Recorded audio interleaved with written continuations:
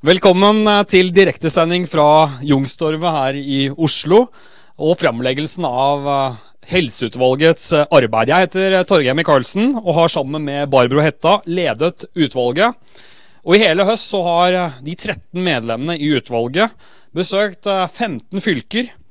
Gjennomført 33 hele arbeidsdager med reiser, samråd og møter. Og møtt over 75 ulike aktører i et bredt spekter av aktuelle fag- og interessemiljøer på ulike temaer i helse- og omsorgssektoren. Oppdraget har vært klart. Vær eh, åpne, lyttende og nysgjerrige. Og Målet har vært da i tillegg å danne et eh, solid kunnskapsgrunnlag for nye løsninger for norsk helse- og omsorgspolitikk i framtida, og fornye og videreutvikle Arbeiderpartiets helsepolitikk på utvalgte områder. Utvalget har i arbeidet ikke hatt som måltid å dekke alle områdene innenfor helsepolitikken. Til det så er fagfeltet altfor bredt. Utvalget har tatt utgangspunkt i en tredelt tilnærming. Vi må satse på forebyggende tiltak som fremmer god fysisk og psykisk helse for alle. Vi må sette inn tidlig innsats til dem som, som treffer dem i faresonen. Og vi må sikre den beste behandlinga når du blir. Og Dokumentet vi nå legger fram, det må derfor leses som eh, våre forslag til debatter, til veivalg og praktiske løsninger vi mener bør diskuteres eh, nå, for eh, så grunnlaget for en ny og videreutviklet politikk i Arbeiderpartiet på feltene. Og endestasjonen, alle sammen, det er landsmøtet i april. Vi sender nå fra oss denne rapporten og håper at dette skaper debatt i og utenfor Arbeiderpartiet. Og hele dokumentet det ligger nå på eh, nettsidene til arbeiderpartiet.no. Og vi skal nå dra gjennom hovedtrekkene i forslagene. Tvitre gjerne underveis, delta i debatten. Bruk I familien, i barnehagen, på skolen, arbeidsplassen, der vi bor. Og der vi lever våre liv. Derfor er også en av de viktigste satsingene vi foreslår, et barneløft for forebygging og tidlig innsats. Vi mener det neste store helseløftet i Norge bør være en ny tverrfaglig opptrappingsplan for forebygging og tidlig innsats for psykisk helse. Videre foreslår utvalget å lovfeste et lavterskeltilbud til barn og familier. Vi vet at lavterskel og lett tilgjengelig hjelp, god informasjon om hjelpetiltak og sammenhengende hjelpetjenester på tvers av faggrupper, sektorer og nivå er avgjørende for tidlig innsats mot skjevutvikling hos barn, ungdom og voksne. Og det finnes mange gode eksempler på kommuner hvor man har fått dette til. Vi har besøkt Familiehjelpa i Stange og familiesentrene i Øvre Eiker og i Bodø, og det gjøres mye bra. Felles for de kommunene som har lykkes med gode tilbud mot barn, unge og deres familier, er at de tar utgangspunkt i den enkeltes behov. Tjenestene er lett tilgjengelig, det er tydelig hvor man skal ta kontakt, og man blir ikke sendt ut eller videre uten at man er rettleda eller ivaretatt. Utvalget mener det er god forebygging å satse på mer støtte og veiledning av denne eh, arten. Videre vil vi ha en nasjonal gjennomgang av alle tjenestene retta mot barn, unge og familier, med mål om bedre samhandling, arbeidsdeling og tydeliggjøring av ansvar. Vi foreslår også å gjennomgå organisering og finansiering av fastlegeordninga for å sikre fastlegene mer tid til forebygging og tidlig innsats. Et annet viktig forslag som utvalget kommer med, som har skapt debatt, og vi håper skal skape debatt videre i partiorganisasjonen, er forslaget om å innføre mat i skolen. Utvalget foreslår eh, en reform som inneholder frukt og grønt eh, til alle barn på alle trinn, og mat i skolen finansiert på en utradisjonell måte via oss foreldre og barnetrygden. Gratis skolemat er et svært viktig folkehelsetiltak. Det sier alle som har greie på folkehelsearbeid i Norge til oss. Og Utvalget mener at eh, en skolematordning som favner alle norske barn, vil ha en stor samfunnsmessig nytte. Vi ser for oss et uh, enkelt måltid, gjerne brødmat, som tilbys elevene i løpet av skoledagen, i skolens egen regi eller i samarbeid med andre. Det må være stor grad av frihet til den enkelte kommune og den enkelte skole, skole og finne ut av hvordan man enkelt kan gjøre det hos seg. Om det f.eks. skal skje som frokost, som enkelte skoler har i dag, eller i løpet av skoledagen, er også etter vårt syn, eller bør også være opp til hver enkelt eh, skole eller skoleeier. Og som jeg nevnte, er det altså mange skoler i Norge som allerede har innført ulike ordninger med mat i skolen. Vi foreslår å finansiere mat i skolen med å ta i bruk deler av midlene som i dag brukes til utbetaling av barnetrygd. Midler som i dag gis direkte til oss foreldre for bl.a. å finansiere mat til barna våre, kan i stedet rettes effektivt og sosialt fordelende til finansiering av skolemat. Finansdepartementet har beregnet dette. Eh, hva koster å innføre et eh, skolemåltid til alle? Og det er ikke billig, folkens. Det koster 3,6 milliarder kroner, sier eh, Finansdepartementet. Og da kan man også få dette til, det vi foreslår, for alle elever i barneskolen, ungdomsskolen og den videregående skolen. Til sammenligning så utbetaler staten over 15 milliarder kroner til eh, barnetrygd hvert eneste år.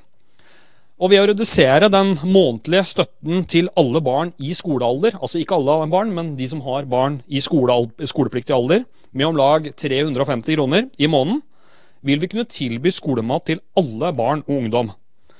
Men det er hvis foreldra skal betale det helt på egen hånd.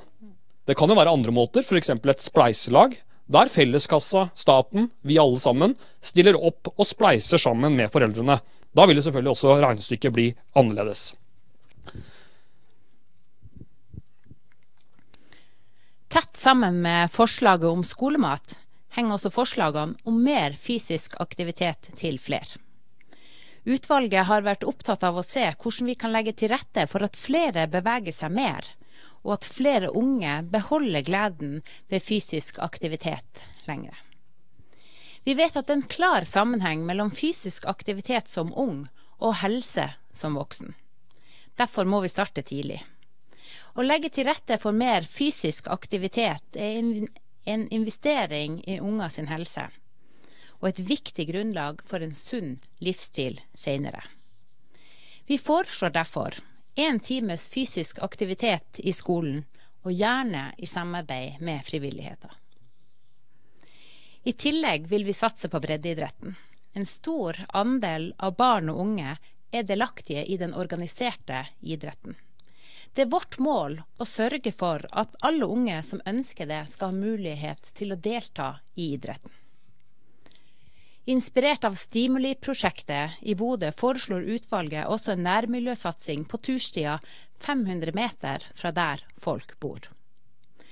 Egenorganisert trening er den suverent største arenaen for fysisk aktivitet blant voksne. Det å gå på tur i nærmiljøet er Norges mest vanligste aktivitet. Men det er også den aktiviteten som er mest ønska av de som i dag er lite aktive.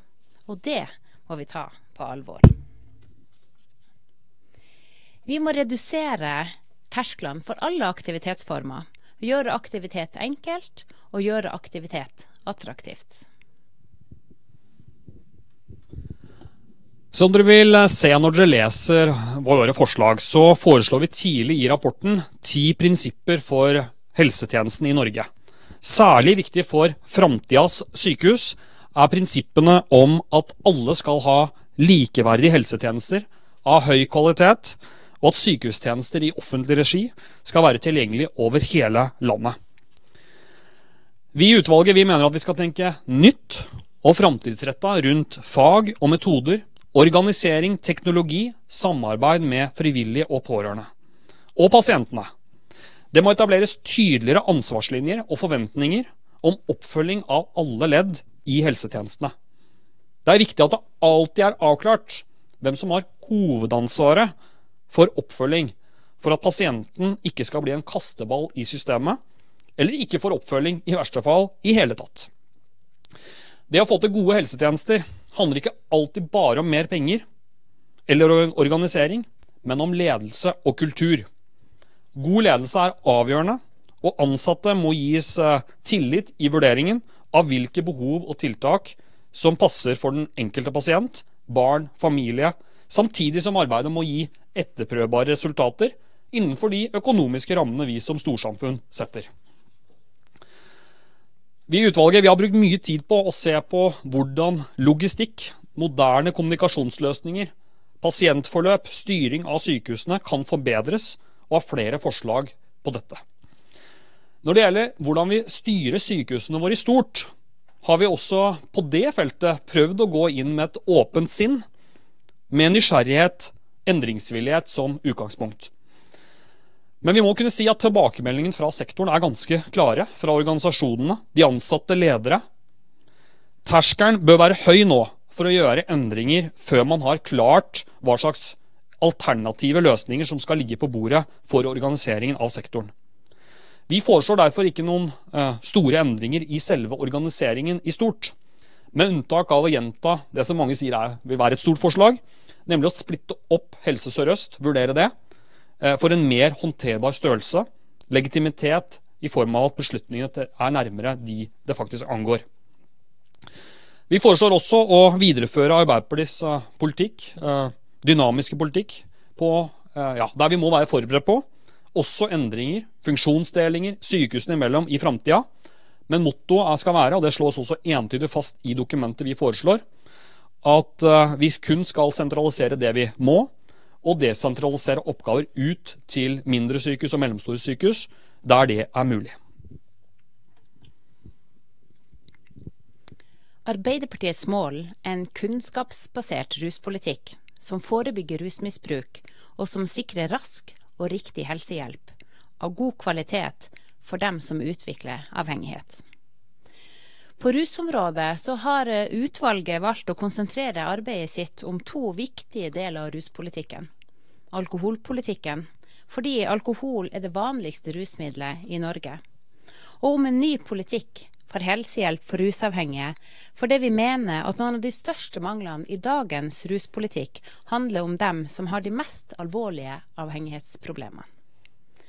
Helseutvalget mener derfor at det er behov for en ny samfunnsdebatt om alkoholens plass i samfunnet.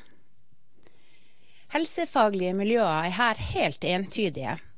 Tilgangen på alkohol er smøringa som legger grunnlaget for annet rusmisbruk og psykiske lidelser alkohol er samfunnets hovedårsak til barn og unges inngang til rusmisbruk, uansett rusmiddel. Blant annet foreslår vi av helsehensyn å nedskalere taxfree-salget av alkohol og ha som mål om på sikt å avvikle ordninga. Vi foreslår å innføre en ny handlingsregel for alkoholpriser med en prisjustering som minimum er på nivå med pris- og lønnsindeks. Utvalget mener at det grunnleggende i, det her, i denne delen er at rusavhengighet er et helseproblem som skal møtes med helsehjelp. Legemidler og behandlingsopplegg skal være kunnskapsbasert og basert på en medisinsk vurdering. Det er dissens i utvalget om dette skal inkludere heroinassistert behandling. Flertallet støtter det, og mindretallet er imot. Kommende oppbygging innenfor rushelsetjenesten skal i hovedsak skje i offentlig regi. På flere punkter i ruskapitlet vet vi at det er ulike meninger i partiorganisasjonen. Men vi mener dette er viktige debatter å ta for Arbeiderpartiet. Vi har også brukt mye tid på å diskutere framtidas eh, eldrehelse, som er et begrep vi nå lanserer for at vi skal diskutere uh, ja, helse til befolkning som både er kvikkere, men også eldre, i bredere diskusjoner enn vi har hatt kanskje så langt i Arbeiderpartiet. Bakgrunnen for den diskusjonen handler om en selverkjennelse. Vi har ikke nådd alle målene vi satte oss. Det er det første punktet. På tross av at det siste tiåret har vært eh, tverrpolitisk enighet eh, om flere f.eks. sykehjemsplasser i Norge, så, eh, og at vi gjennom vår rød-grønne regjeringstid lagde sjenerøse investeringsrammer, hvor alle kommuner som søkte, fikk tilsagn. Pengene sto klare på konto til nye plasser. Og at bevilgningene til kommuneøkonomien har vært rekordhøye, må vi konstatere at utbyggingstakten har vært for lav i norske kommuner. Det er viktig å si at eldreomsorgen og pleie- og omsorgstjenestene i kommunene har blitt mye bedre mange steder. Flere bor på enerom, flere har eget bad på rommet, og flere boliger er tilpasset brukernes behov. Over 20 000 flere kompetente omsorgsarbeidere i omsorgssektoren i 2013 enn i 2005. Det har ikke blitt nok nye plasser av det, men det har blitt bedre plasser. Men etter utvalgets syn så trenger vi kraftigere lut om vi nå skal ta imot enda større eldrekull i åra som kommer. Det andre punktet handler om at vi mener at virkemidlene vi har hatt i Norge, ikke har vært sterke nok. Mange kommuner oppgir at eh, regninga for driften av f.eks. et sykehjem er en terskel for investeringsviljen i kommunene. Vi mener derfor at vi bør se på virkemidlene for finansiering av kommunenes drift av eldrehelse og omsorgstilbud. En god kommuneøkonomi er en nødvendig, men kanskje ikke tilstrekkelig betingelse for at vi skal få på plass gode tilbud. Det tredje punktet handler om at behovene har endret seg. Flere ønsker å bo hjemme lengre, og mange kommuner har og satses fortsatt sterkt på å tilrettelegge for nettopp dette. Framfor kanskje å bygge heldøgns omsorgsboliger eller sykehjem. Da synes vi i utvalget at det er et uh, lite paradoks at statens bidrag til eldreomsorgen kun går til den mest tradisjonelle og mest kostnadskrevende delen, nemlig til institusjonsplasser. Det fjerde punktet som vi har måttet konstatere, er at det er store forskjeller kommunene imellom. Med fem millioner innbyggere er det et spørsmål, synes vi, om hvor store forskjeller kommunene imellom vi som parti og vi som samfunn kan akseptere. Vi må sikre at alle innbyggere i Norge, uavhengig av hvor du bor, får tilbud av god kvalitet. Og det siste, og femte punktet kommunene, konstaterer vi, kan ikke bære ansvaret for framtidas eldreomsorg alene. Det vil derfor være behov for et uh, betydelig statlig løft på finansieringssiden om kommunene skal kunne klare å levere tilbud til de nye store kullene av eldre som kommer de neste tiårene. Med bakgrunn i disse tingene, de fem punktene jeg nå har nevnt, så foreslår utvalget en skisse til en kraftfull eldrereform for eldrehelse i fem hoveddeler. Vi mener at det bør utvikles punkt 1, et uh, nytt system for måling av kvalitet av alle tiltak uh, innen pleie og omsorg og helsehjelp som kommunene leverer, kombinert med tydelige minstekrav til hva kommunene skal levere. Det må finnes uh, nye løsninger som baserer seg på eksisterende, uh, eller som kommer til erstatning for dagens rapporteringer. Det nye systemet skal ikke, jeg understreker ikke, bidra til økt byråkrati. Punkt to. Kvalitetskravene må kombineres med et betydelig statlig bidrag til opprustning uh, av disse tjenestene gjennom et øremerket sektortilskudd som er til fri disposisjon dersom kommunene oppfyller satte krav for god pleie, omsorg, eldreomsorgspolitikk. Og Med dette så foreslår utvalget det vi mener er en slags tredje vei i avveiningen mellom frie midler, øremerkede tilskudd, et løft som er øremerket for de kommunene som ikke oppfyller gitte kvalitetsindikatorer, men som er frie hvis kravene allerede er oppfylt. Og Jeg vil peke på også at det er fullt mulig for kommuner å organisere seg annerledes gjennom å lære av de som har fått ting til. Det trenger ikke å være mer penger som må på bordet for å møte gitte kvalitetskrav fra, eh, som er satt av storsamfunnet. Det tredje punktet handler om at finansieringssystemet må understøtte en styrking av alle trinnene i omsorgsstigen. Fra dagsentrene og enkle hjemmetjenester til heldøgns omsorg og omfattende helsehjelp samt innføring og bruk av velferdsteknologi i en annen skala enn i dag. Punkt 4. Kvalitetsmålingene og finansieringen må ivareta den opplevde kvaliteten i tilbudet som gis til den enkelte eldre. Og det siste punktet, punkt 5. En ny reform må legge til rette for mobilisering av alle samfunnets omsorgsressurser. Helsepersonell, pårørende og frivillige. I framtida vil vi ha behov for alle sammen.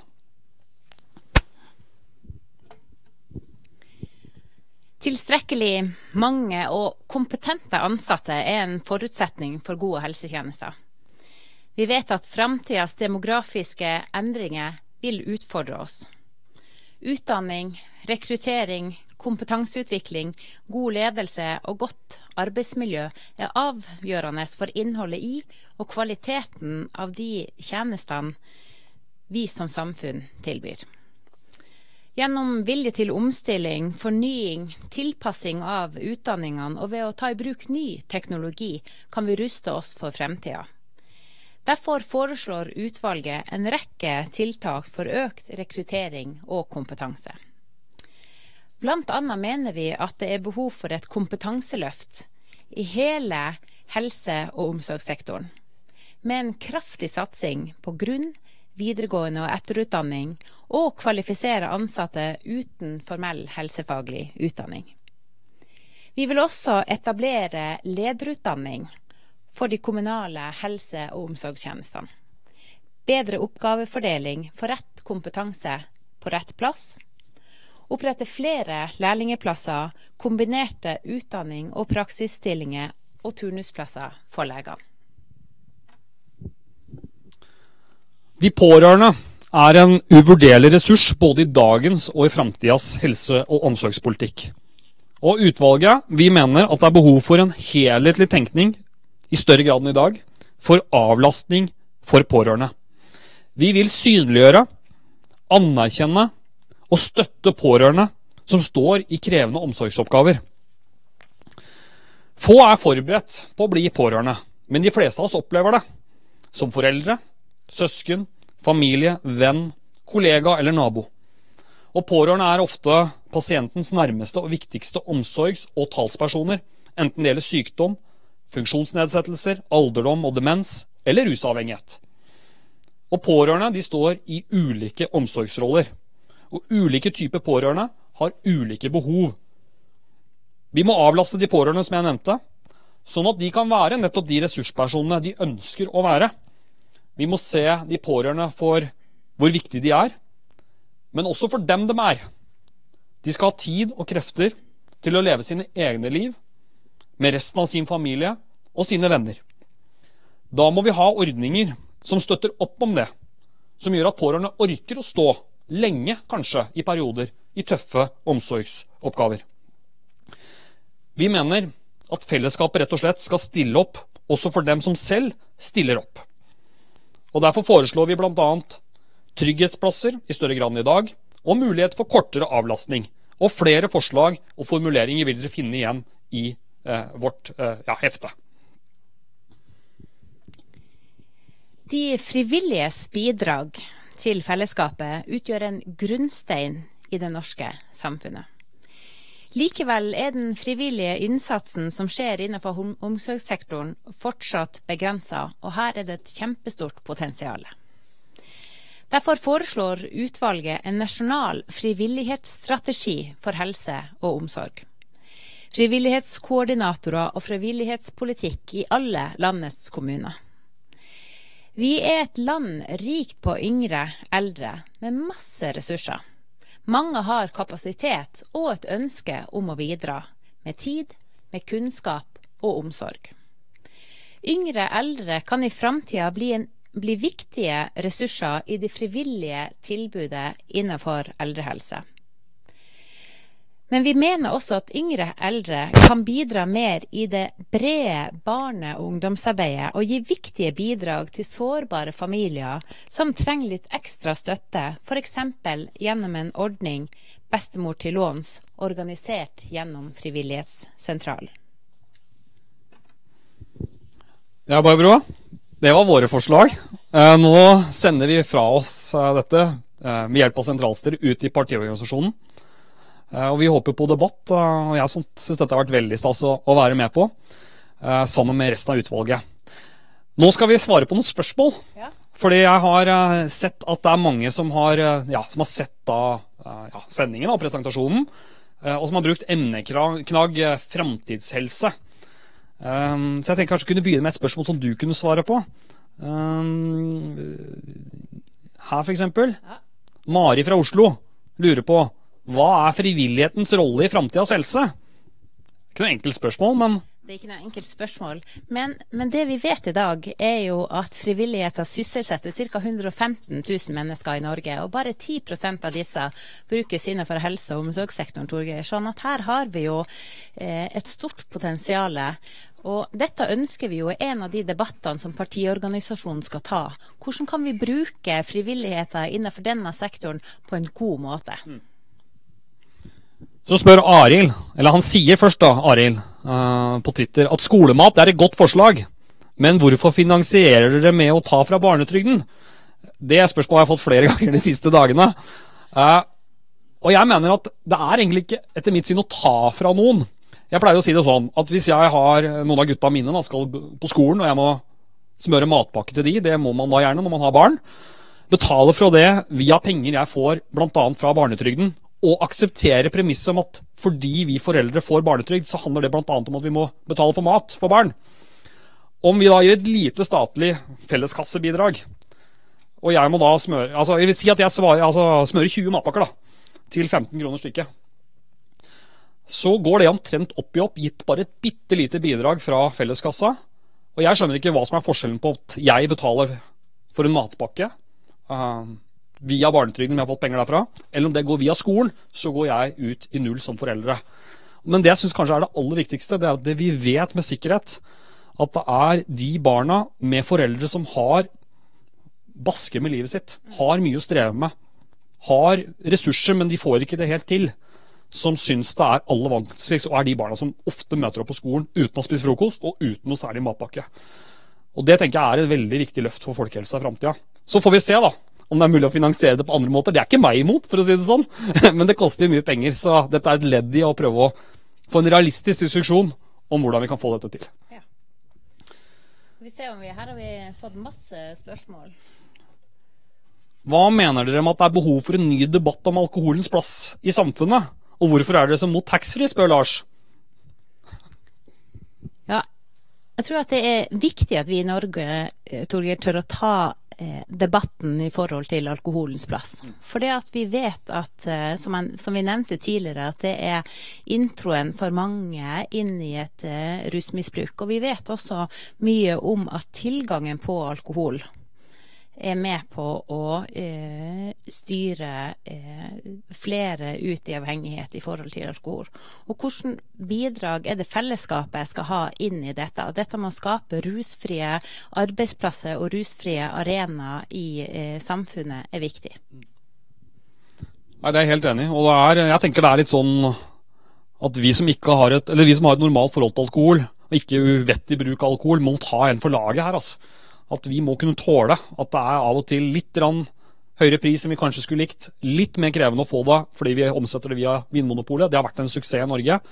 Og hele den alkoholpolitikken den utfordres nå kraftig av bl.a. taxfree-ordningen. Dette er nok også et tema det er debatt om i Arbeiderpartiet, det er jeg helt sikker på. Eh, men det er viktig at denne diskusjonen nå startes. Og utvalget har jo ønska eh, med sitt arbeid å være åpen og innhente ny kunnskap og tørre å ta nye diskusjoner i samfunnet og i partiorganisasjonen i saker som vi vet er både viktige og vanskelige. Her har vi et spørsmål til. Fra Anna. Fra Anna. Hva skiller Arbeiderpartiets nye forslag om organisering og finansiering av eldreomsorgen fra regjeringens gjeldende politikk? Torgeir?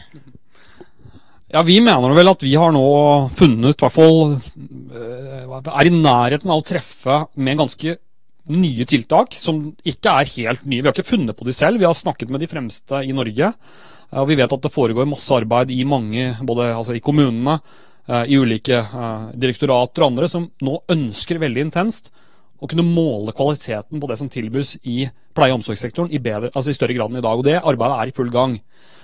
Eh, men det som skiller da vårt forslag, kanskje, da, dette tror jeg regjeringen også vil være med på. Spørsmålet er jo én, er man villig til å legge de pengene for, de, for å betale for de ressursene som må settes i sving her? I, altså det handler om hele diskusjonen om hvor stor andel av felleskassa skal vi finansiere via skatteseddelen osv. Men vi foreslår også et øremerka sektortilskudd. Der vi prøver å ta et skritt mot en retning der de kommunene som kan dokumentere på en enkel, ubyråkratisk måte at de oppfyller gitte minstekrav for eldre, god eldreomsorg, eh, de eh, kan bruke pengene på hva de vil. Mens de kommunene som ikke leverer varene, de må enten organisere seg på en annen måte, eller bruke de pengene de får til å ja, gjøre ting bedre, rett og slett. Og det har jo ikke regjeringen vært villig til å snakke om i det hele tatt så langt. Og så vil jeg legge til én ting til slutt. at er dette et sånt Frp-forslag? var det noen som spurte meg om før i dag. Nei, det er det ikke. Dette er, ikke altså, det er helt annerledes fra det Siv Jensen og andre Frp har snakket om før. Dette er en rammestyrt ordning der Stortinget sjøl kan ta stilling til dimensjonering og skalering. Ikke en eh, rettighetsindivid, altså en, en, en, sånn type veldig byråkratisk ordning som jeg oppfattet at Frp foreslo, og som de heller ikke har foreslått videre i regjering. Jeg er redd for, eh, Barbro, at den nye regjeringen er litt i ferd med å gå seg litt vill i sin egen retorikk og at de tror at de virkemidlene de har, er veldig sterke. Det må jeg innrømme at det trodde vi også veldig lenge, men det viser seg at det på et eller annet tidspunkt stoppet opp. Og det er det vi nå må unngå for framtida, at det ikke stopper opp eh, den viktige utbyggingen som skal skje på mange nivåer i norske kommuner. Ja, skal vi, vi klarer ett til, gjør vi ikke det? Det gjør vi. Skal vi se her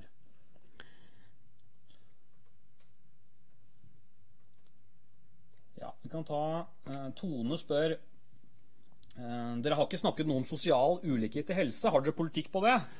Ja. Det må jeg si vi har. Det har vi. Det er det vi snakker kanskje mest om i løpet av de månedene vi har vært sammen. Utvalget har i stor grad Torgeir, delt, eh, diskutert eh, sosial ulikhet i helse. Og vi vet at sosial ulikhet er en av de aller viktigste faktorene faktisk for utvikling av uhelse. Eh, og, det, og, Arbeiderpartiet har jo på en måte en, en, si, en tredelt politikk hvor vi har eh, gode barnehager, god skole, god arbeidslivspolitikk, gode arenaer som skaper fysisk og psykisk eh, god helse hos eh, Norges innbyggere som på en måte som et sånn hovedprinsipp. For vi vet at når folk trives, når folk er i fysisk aktivitet og de får utdanning, så er vi med på å eh, utjevne eh, de sosiale forskjellene, og vi vet at det vil òg være forebyggende i forhold til uhelse. Ja, og Et av de temaene som rett og slett har sjokkert meg litt etter at jeg begynte å ordentlig jobbe med helse, uh, si, helsepolitikk i Norge, det er hvor systematiske forskjellene er i helse uh, blant uh, veldig mange i Norge. Og at, kan, ja, at, det er veldig mange som har uh, handikap ved livets start, basert på hvor du bor, hva foreldrene dine tjener, hva de, ja, hvordan de måtte ter seg. så det er ganske ja, sjokkerende, vil jeg egentlig si. og vi Eh, må forsterke politikken for å utjevne nettopp disse forskjellene. Anders Langseth på Twitter spør uh, at det er på nynorsk da, kommer det noen ny politikk om psykisk helse for studenter. Jeg er ikke sikker på om det var på nynorsk, men i hvert fall kommer det noen ny politikk. Vi har ikke sett spesifikt på studentene i utvalget, men vi har arbeidet mye med det i Stortinget. Og jeg mener også at her er det et stort forbedringspotensial, rett og slett. fordi det er mange studenter som da, ja, eller unge, unge voksne, flytter hjemmefra mot en stor by, som syns det er strever med livet sitt, de også. Og mange opplever at de ikke har eh, nok eh, lavterskeltilbud på studiestedene. Så det er noe vi også vil eh, følge opp. Skal vi ta et uh, siste til til slutt? Um, ja, fra Twitter. Ja. Altså, hva vil dere gjøre for å hjelpe rusavhengige? Ja, det er jo en rekke forslag. Vi har prøvd å gå gjennom det nå. Altså, jeg mener at Det viktigste vi kan gjøre, er jo det som som du Barbro, var inne på, altså en, en, en, en, veldig viktig erkjennelse om at vi må uh, sørge for å ha kontroll på alkoholen. Det er det som er det som skaper mest utrygghet i Norge blant de rusmidlene vi har, og er inngangsporten til mye annet rusbruk. Um, og så mener jo vi da at uh, når det først har gått uh, gærent, og man har blitt alvorlig syk, jeg vil si det sånn, rusavhengig, så skal rusavhengige møtes på den samme måten som andre pasientgrupper i samfunnet, i større grad enn i dag, og tilbys eh, medisinskfaglig oppfølging fordi de nettopp er pasienter, og ikke nødvendigvis eh, ja, kriminelle og alt mulig annet som man har blitt kalt og, i andre sammenhenger. Så der henviser vi også til uh, utvalgets rapport. Jeg syns det har blitt ganske spenstig, som også vil sikkert skape debatt i partiet og i offentligheten. Men eh, vi erkjenner jo i, i, utvalget at det definitivt er behov for mer kunnskapsbasert politikk i forhold til uh, rusavhengighet. Og, og, det håper vi jo at fagområdene fremover på en måte vil ta tak i. Så det med å utarbeide en mer uh, forskningsbasert uh, ruspolitikk er noe som jeg, vil, som jeg tror at Arbeiderpartiet vil se nærmere på. Absolutt. Og Vi har jo også konkrete forslag på hva man bør gjøre med altså hvordan man kan drive rusarbeid i fengslene. Uh, hvordan man kan uh, ta i bruk medisinsk-tekniske nyvinninger også her. for det er, ja. Men det er helt riktig, det er for mye diskusjon om hva som kvalitetsmessig er bra og dårlig, og hva som ikke fungerer så bra. Det må vi bli bedre på. Ja, dere, tusen takk for alle som ville følge oss her fra Youngstorget i, i, i kveld. Um, vi leverer nå fra oss uh, hva skal vi si, vår rapport, Barbro, og så ja, synes vi kanskje at vi i hvert fall har forsøkt å svare på det som sentralstyret ba oss om. Nå er det partiorganisasjonens tur. Lykke til, og tusen takk for samarbeidet. Ja, og logikk, ja, God kveld, alle sammen.